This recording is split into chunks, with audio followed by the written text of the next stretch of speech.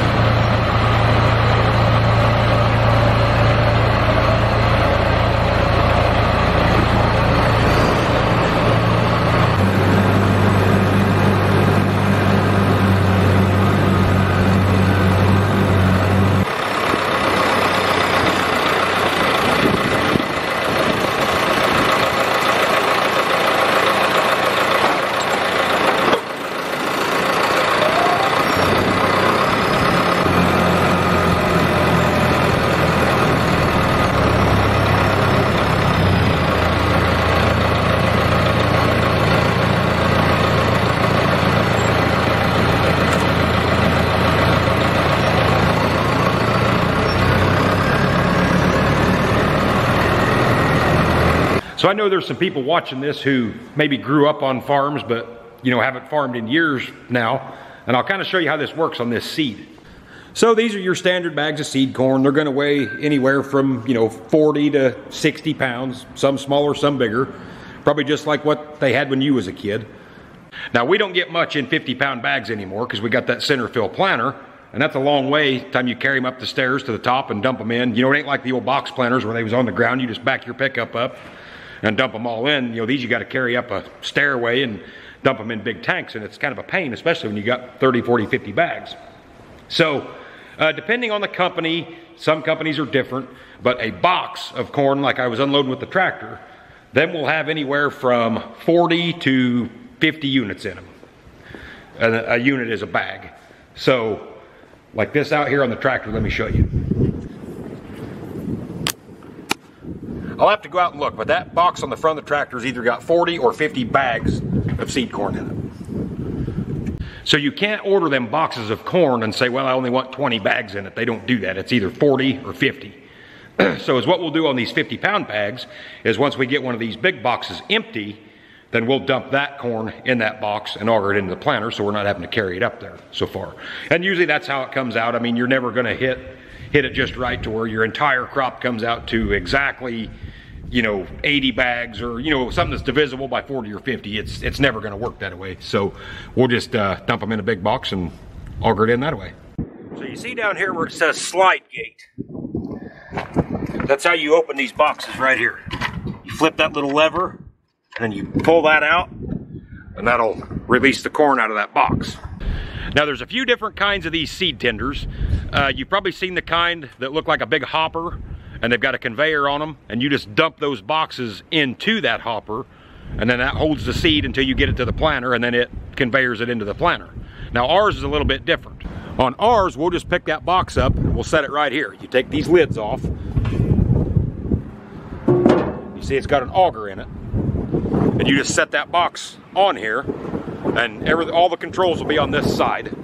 And so I got to be kind of methodical how I set mine up here when I set them in the shed and everything because I during farming time I just want to be able to pull into the shed, pick it up, and set it on the tender. I don't want to have to set them down on the ground and be spinning them and rotating them and all that stuff. You know, so you want to be methodical about how you put them in the shed so that slide gate is always away from the tractor. So is what you do after you set that on here. I set them on from that side and then the slide gate will be right here. So I just reach over which actually shoot it probably won't even be that far in. You just reach over and crack the slide and it'll auger it down through there. And then when this auger's folded out, into the planter. This right here is our talc dispenser. So you can see that hose. So as the seed comes by, it's dropping talc on it. This is the talc we run here. We buy it at our, at our local John Deere dealer. That talc is more or less just a lubricant because all this seed is treated and that treatment is kind of gritty, if you will. So that talc, as it goes by, it sprinkles talc on it, and that just, and it's basically just baby powder in a sense. Some guys have to run graphite, some guys have to run graphite and talc. Um, on our John Deere planter, we can get by with just talc. And so that just makes the seed kind of a little bit more slippery so it doesn't get plugged up in your planter somewhere, being it's blowing it through hoses and stuff like that. It just helps the seed stay moving a little better. Okay, so I'll set these two boxes on the tender and show you how this works.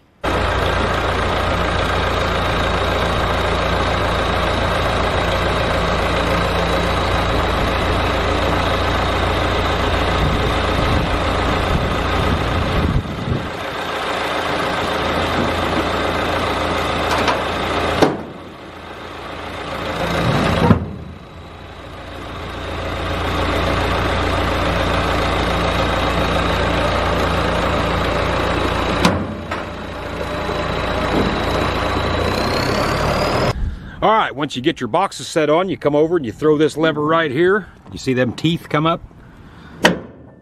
That's what locks are on. Then they won't come off during transport. We got some more corn coming from DeKalb, so I'll set a box of DeKalb here on the back, but it's not here yet, so we'll have to wait. Those boxes are waterproof. Um, you know, there's no issue if it rains. Now, we don't make a habit of leaving them set out in bad storms if it's windy or, you know, really raining hard. I mean, it shouldn't hurt nothing, but sometimes them lids can get a little loose from driving, you know, 60 mile an hour down the road.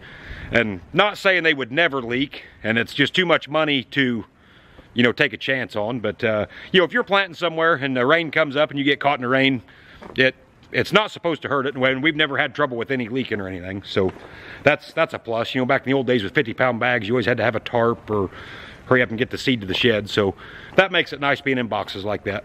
Now these boxes are all soybeans here. I had to stack them a little bit different this year because there's only two different numbers of soybeans, but I treated all of my soybeans and Kevin didn't treat any of his.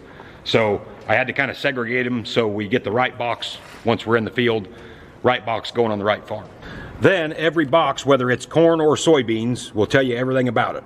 So these are soybeans, 3.8 Pioneer. That's the maturity on them.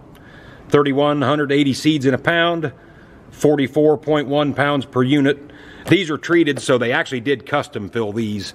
So I'll have to run the numbers. They writ, they've got it written on some of them if there's 40 or 50 units in them or whatever they've got. So that's where you go when you're filling your planter to get all your information. They've got phone apps where you can scan barcodes and stuff and tell you everything else about them. But like here, it'll tell you these come from the state of Illinois. They were tested March of 21, 90% germ, all that good stuff.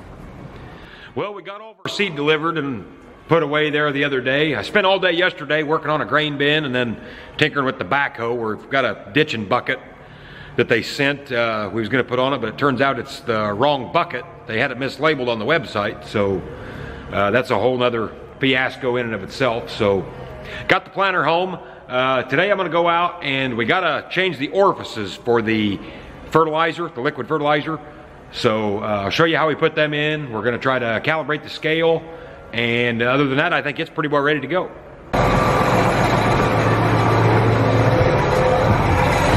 So the planter we had before this, it had a scale on it as well, but it had a digital readout here in the cab. You couldn't change any of the settings or push any buttons. That's all done back on the planter, but it just had a digital readout in here so I could tell going through the field how much seed I had left. That way if you're planting and somebody calls and says, hey, how much seed you got or when do I need to be there with the seed, you know, I can just look up and, well, I've got, you know, 1,000 pounds left or whatever versus back there where I can't see it. Well, this new scale, it's all wireless. You can't put a another readout here in the cab from the factory. You got to have like an iPad or a phone or whatever. So I'm gonna. I went and bought a little. It ain't an iPad. It's just a little tablet of some sort. So I'm gonna mount it in here then. So going through the field, I can see what I've got for seed in the planter. But we'll run back and see if we can get this dude calibrated. Okay, so the way this works is when I step on here, that should say about 215 pounds, roughly.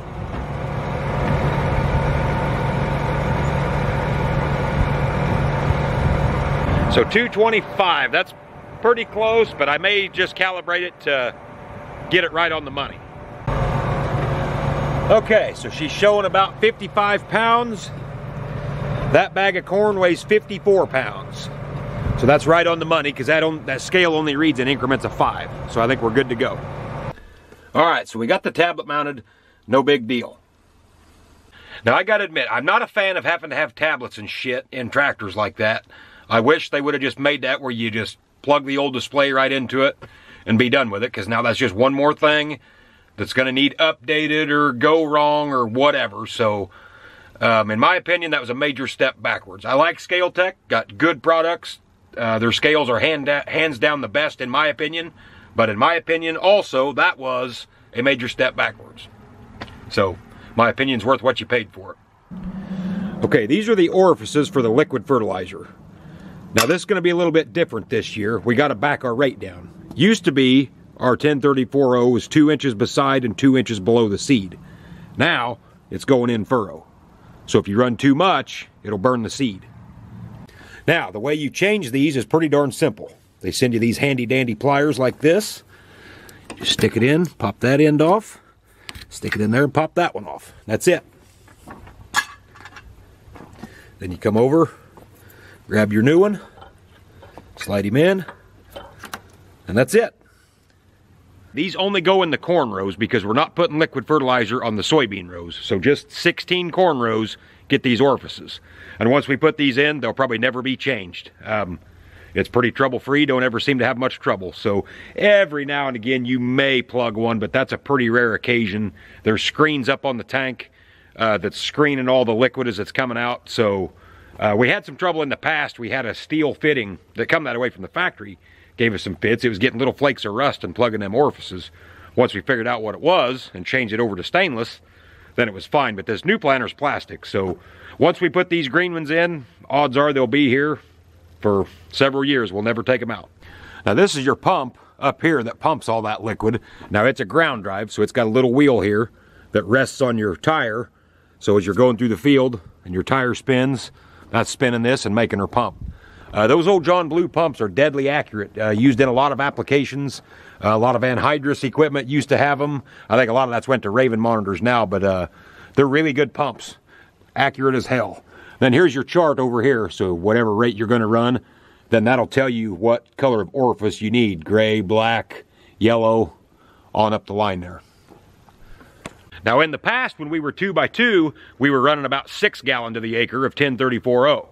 Now that we're in furrow, we're gonna have to back that down. We're gonna be between four and four and a half gallon to the acre, because like I said earlier, uh, that stuff's hot and it can burn the roots of the corn once it starts sprouting. So being you're in furrow, you gotta back her down a little bit.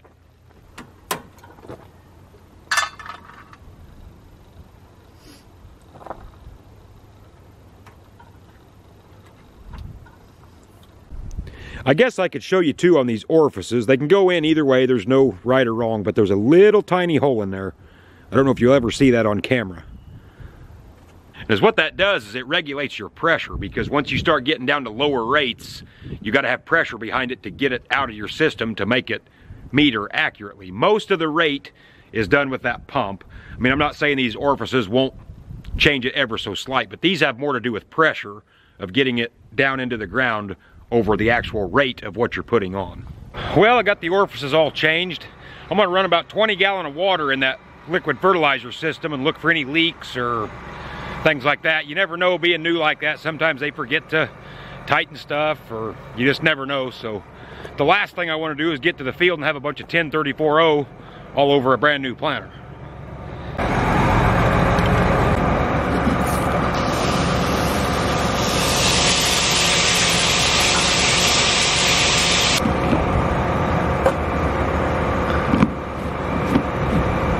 Now I should note for some of you that ain't been around this stuff, when I go to fill this with liquid fertilizer, I won't fill it from the top like that. I just done that because it was a garden hose to put water in it.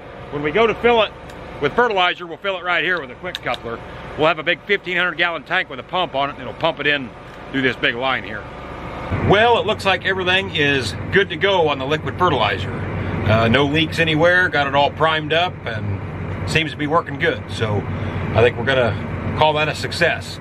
Uh, the one thing I did find was my markers, which we don't use markers a whole lot being on auto steer, but you know, I use them when I'm doing end rows or sometimes you get in little patches where just is quick to use the markers as it is auto steer, so I'll use them. But uh, they work fine in manual mode, but they don't work in automatic mode. Only one side does, so it's probably a switch or a wire somewhere. So Deere's gonna come out and see if they can figure out what that is and see if we can get it fixed. Well, I had no intentions of making a full-blown video this week. I was just gonna kind of update everybody as to what was going on, but one thing led to another and here we are. So I'm gonna cut it off here. Uh, today's Good Friday uh, with a little bit of luck.